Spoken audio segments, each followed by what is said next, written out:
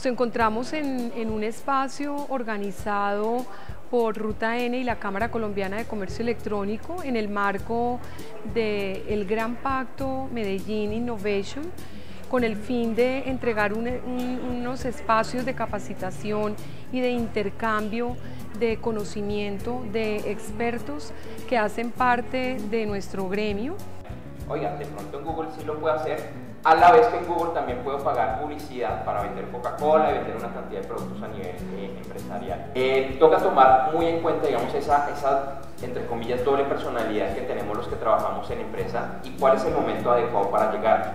Y vuelvo repito, la mayoría de marketing digital que se está haciendo ahorita, yo calculo que es por encima del 90%, es para B2C, no para B2B, pero eso no significa que B2B no se puedan hacer cosas.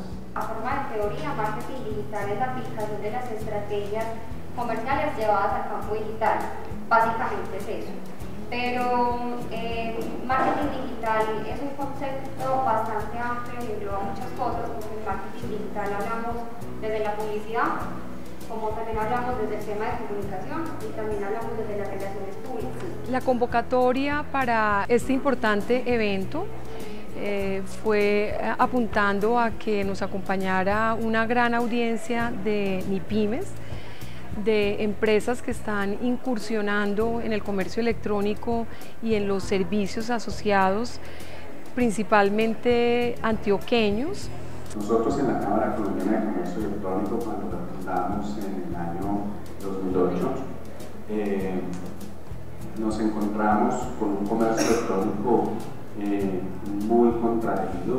Eh, de hecho, Colombia en ese momento era de los países de la región, porque no me, me refiero a Latinoamérica, con más atraso en nivel de conectividad, con más atraso en nivel de integración de medios de pago, de proveedores logísticos y con un atraso importante, digamos, en el hábito de consumo a través de catálogos y de Internet. Conversamos eh, en tres niveles de paneles. El primero correspondió a estrategias de marketing eh, digital, el segundo de plataformas, eh, principalmente de e-commerce, y el tercero de experiencias en emprendimiento.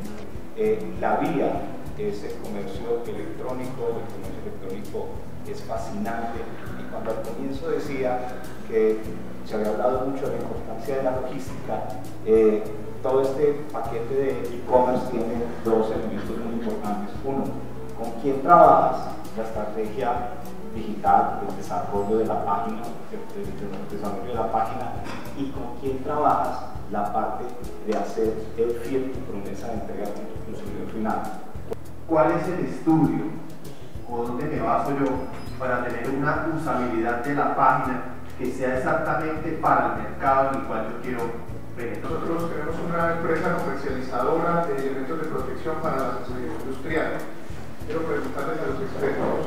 Alguna vez escuché que eh, normalmente la gente cuando entra a buscar, busca productos, no busca empresas. Entre otras cosas porque las empresas pueden tener nombres inversiones como J o cualquiera de estos que no dice nada. Entonces, eh, lo que busca la gente son productos, particularmente los buscadores. Cuando una empresa tiene multiplicidad de productos, tendría entonces que hacerle posicionamiento a cada producto, porque ahí se vuelve muy costoso. El ciclo de toma de decisión en el mundo de, consumidor es un ciclo de toma de decisión corto. Por eso quizás los medios digitales son medios bastante bien adecuados para poder influenciar esa toma de decisión. Créame, nosotros lo hemos visto, el crecimiento es impresionante. Anteriormente uno veía que ni el 1% hacía una compra por internet y el empresario nos pasó casos de que, ah, una colchoneta, sí, y se la mandó de 1,20, no, era de 80, y se la devolvíamos y el, y el empresario cogía y la partía con tijeras y se la mandaba de 80. Casos reales vividos acá. pero en este momento tú lo ves y es un cliente ya preparado para hacer un despacho uno a uno, para listar, para responder en tiempo. Finalizamos con un eh, espacio denominado Doctor TIC, eh, en el cual hacemos unos análisis específicos eh, a nueve compañías Eh, esas plataformas eh, son revisadas, chequeadas y diagnosticadas por expertos también afiliados a la Cámara Colombiana de Comercio Electrónico.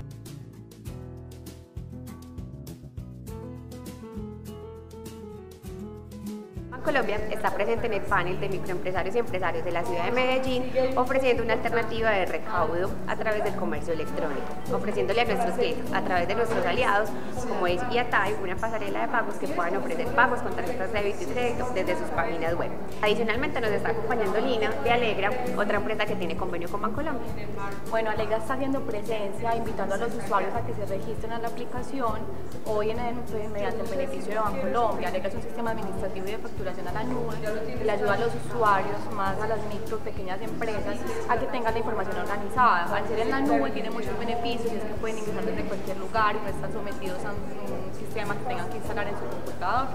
Hoy nos encontramos en el evento de la Cámara Colombiana de Comercio Electrónico. Básicamente lo que hicimos fue una rueda de negocios con compañías que están vinculadas a la Cámara y lo que hicimos fue contarles sobre Place to Pay, sobre nuestro negocio, pues que básicamente lo que hacemos en Place to Pay es procesar transacciones a través de canales no presenciales.